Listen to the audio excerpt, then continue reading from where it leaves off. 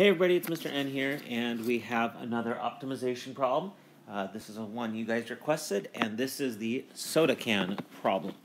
So let's take a look at what we have. It says a new soda can is going to be made to hold 16 fluid ounces. I changed it to 16 because we're used to seeing 12, so let's just go with 16.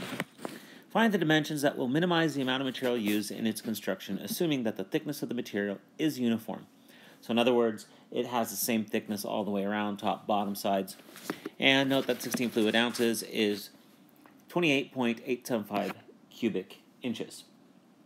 All right, so what we have here is we've got a can. And in our can, we've got material that gets used. And we need to know what size to make this. Well, we've got a radius here. So that means we have a volume that we need to know, and the volume is pi r squared h. And we know our volume. So I'm going to do this problem in two different formats.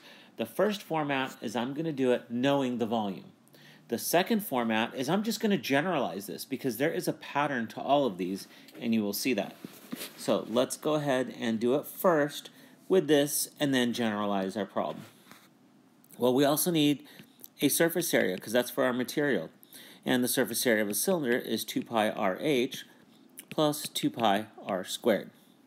All right, at this point, what do we want? What are we trying to do? We are trying to use the least amount of material. We want to minimize this surface area. But you notice I've got two variables there. Well, I don't want to have two variables there. It's a lot harder to take the derivative of two variables, and I'll show you that when we generalize the problem.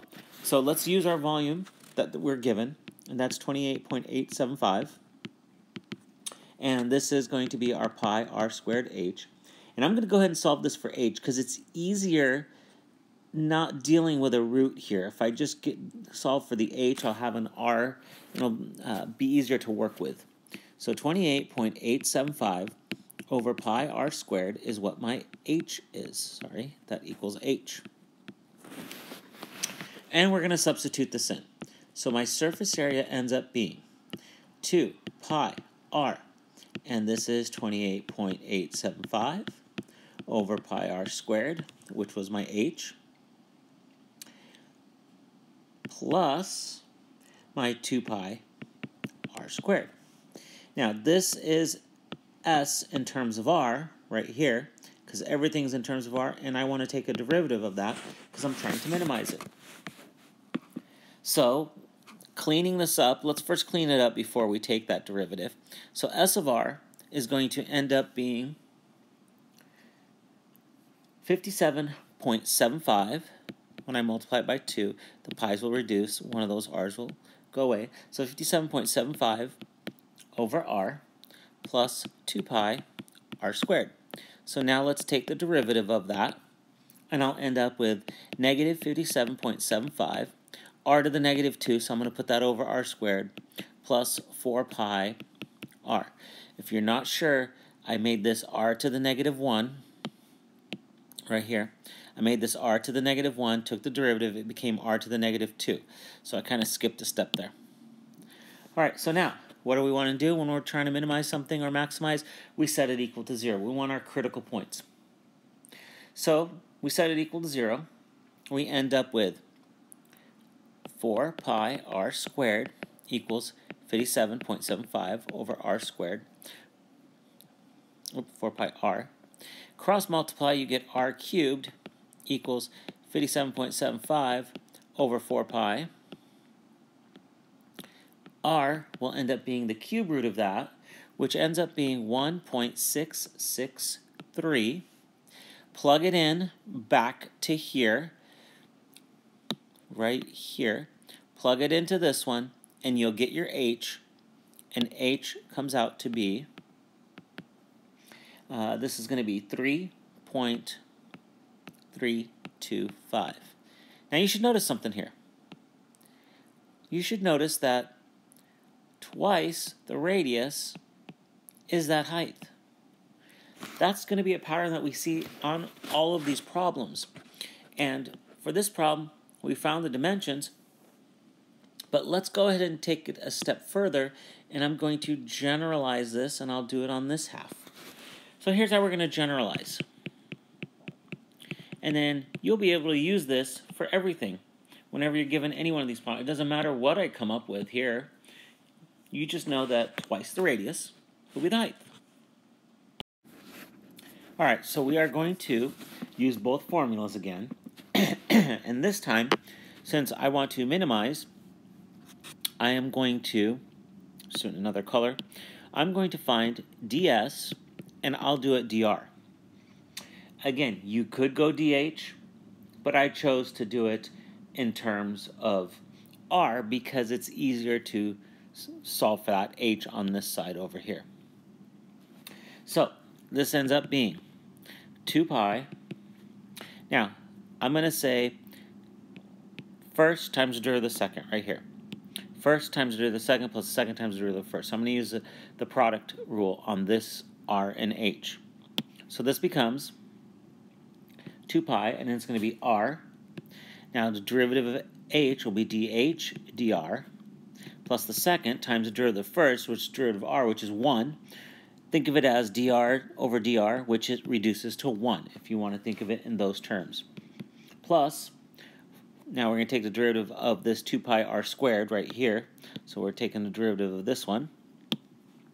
And that ends up being 4 pi r dr. dr, again, I took a derivative of r with respect to r, so it's just 1. So you could, again, put it in those terms. It's like when we do the y primes, and we don't put an x prime for this same reason. All right, so that's back to related rates over there. So we have ds dr, and let's clean this up.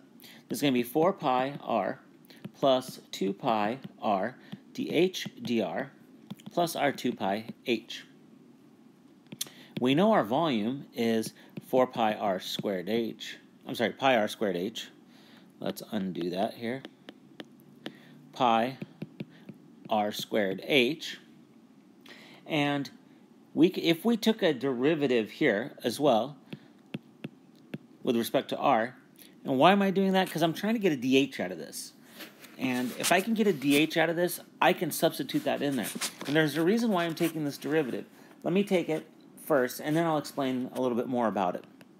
So this becomes pi r squared dh dr plus 2r, so I did the first times the derivative of the second, plus the second, so that's 2r, times the derivative of the first, which will be, I'm sorry, it's 2rh times dr over dr, right? Because the derivative of that r.